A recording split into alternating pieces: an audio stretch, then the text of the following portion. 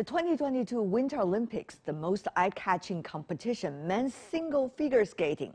Nathan Chen from the U.S. won the gold medal on Thursday. However, two-time defending Olympic champion Japan's Yuzuru Hanyu continued his legacy despite falling twice in the opening minutes of the free skate.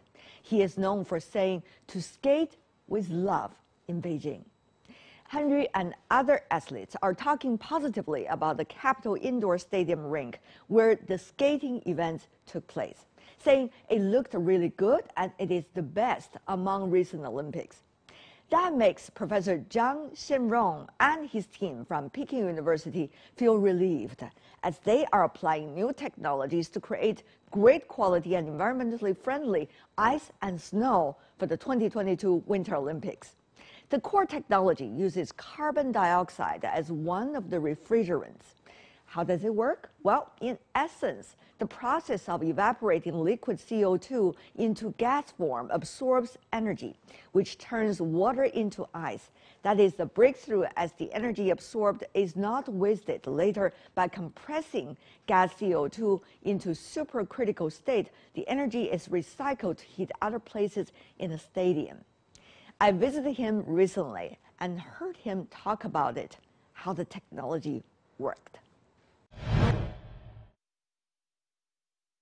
In my mind, I always thinking uh, how to use uh, carbon dioxide as a useful resources. Yeah, and uh, uh CO2 can be used as a very useful substance to transport the energy the, from the, the low temperature to high temperature. Yeah. By this transportation, by CO2, the cold energy and also thermal energy can be made simultaneously. Mm -hmm. But it was rarely used earlier. Um, yes, yeah. And about 20 years ago, um, I remember uh, um, we are first uh, to put forward the idea using the carbon dioxide as a working fluid for power generation, for electricity, electricity generation. Yeah. And then uh, starting that point, and we start to uh, think more uh, using CO2 um, to make uh, refrigeration and to uh, to make the hot water, uh, space heating, you know, many, uh, many applications. Around the world, how many, are there many ice rinks taking advantage of CO2 to make it happen? not many.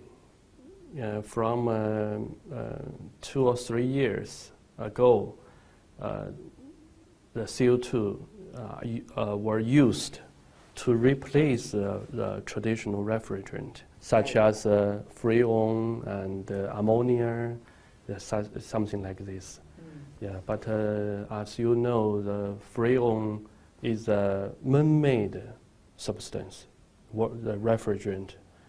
Uh, it has a, a good uh, refrigeration cap capacity, but it's, it's very bad for our environment yeah, for, for our planet.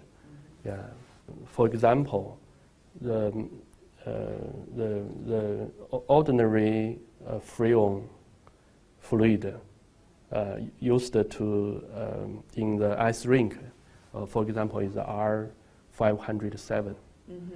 Uh, the, the one ton of uh, if we use the one ton of the R five hundred seven, it's equal to the about uh, uh, 3,900 ton of the carbon dioxide emission. Yes. So it, it's a lot. It's a lot.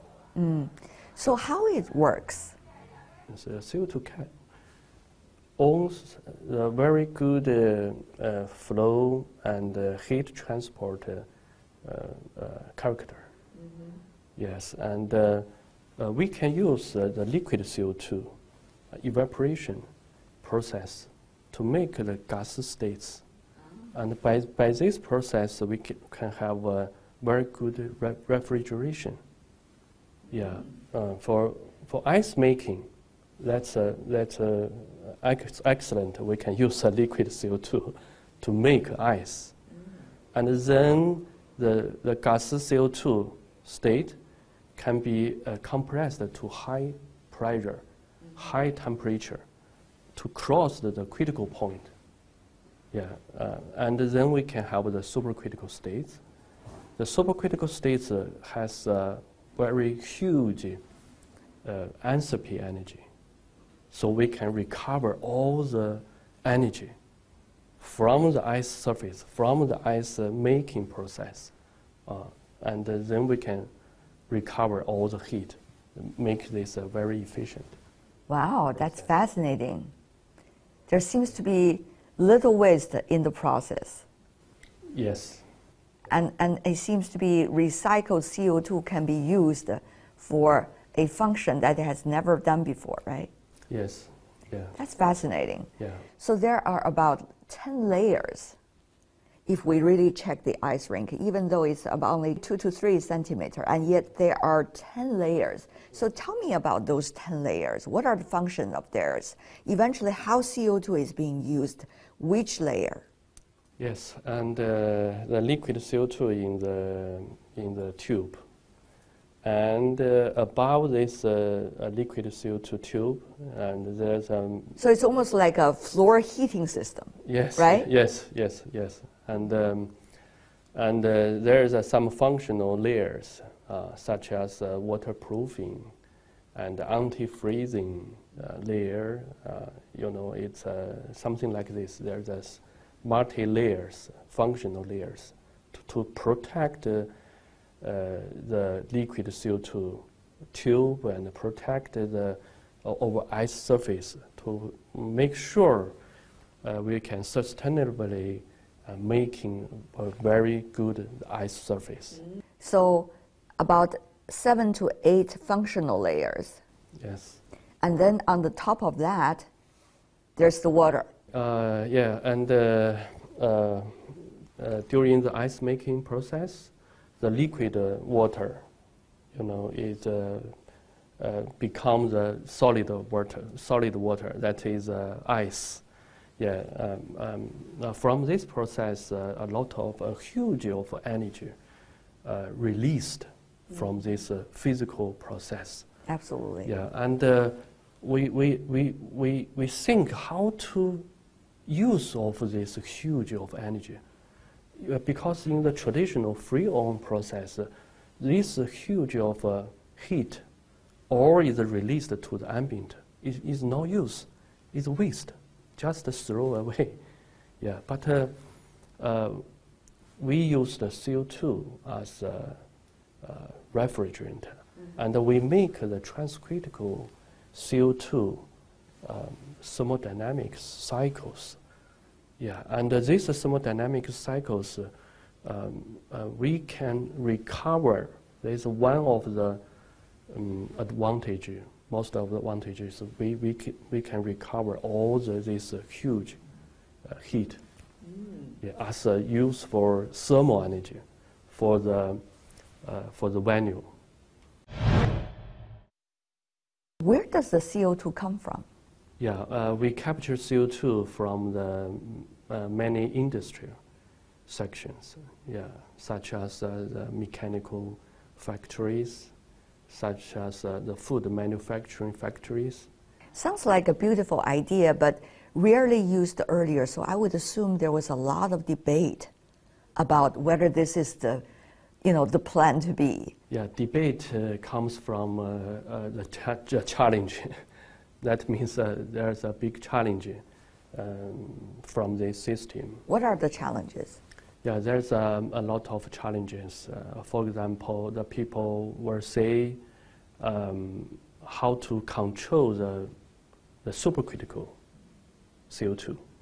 The supercritical uh, CO2 is not a, is a, is a, is not a liquid, is not a, the gas, is a very different uh, state of the substance. Yes. Yeah. Uh, so how to control? It's an instability, unstable. So how do you control? How to Uh, this is uh, this is one point, and also uh, it's a high pressure. Mm-hmm. Yeah, high pressure. How to make the very safe um, equipment for the supercritical part. You, you, you need to make a very compact, very safe, um, uh, for example, the heat exchanger, mm. the, the liquid and the gas uh, separator. Yeah, you, you make, make sure all is uh, equipment is safe. Yeah. And also we have a very super huge the ice surface. Uh, in this time uh, in our uh, national uh, speed skating oval, uh, we have a 12,000 square meter wow. ice surface. So how can we make sure all is uh, the ice surface temperature is uh, is uh, uniform? Mm. According to IOC's rule, uh, it needs to be anywhere within the ice rink, within five, 1.5 degrees Celsius. So no more than that. The, the liquid CO2, uh, we use the liquid CO2 under the ice surface. And uh, uh, the liquid CO2 becomes uh, the gas states. And this is a phase change process. Uh, because the phase change process, the temperature doesn't change. So uh, this time, in our ice surface, 12,000 square meter ice surface, the temperature difference across the, all the ice surface is uh, less than um, 0.5 degree. Wow. Yeah. Much lower than what the IOC requires. Yes. yes. Are you proud of that? Yeah, it's a, a, I'm very proud. yeah. But there was a lot of pressure. I, I know that the debates would last about two to three years. Uh, yes, there's uh, many conference, uh, debate conference, debate meeting. yeah, we need to uh, say uh, uh, the, the, the reason why the CO2 again and again. that's funny. But what about the cost? I'm sure that's one of the biggest concerns. Yeah, uh, as a matter of fact, the cost is not high because usually, um, because uh, this time, our cold energy and thermal energy is all in one system. Uh, uh for example, uh, take the National Speed Skating Oval as an example, and we have a refrigeration system and we have a hot water system, space heating system, and dehumidification system, and also preheating system, and a lot of system.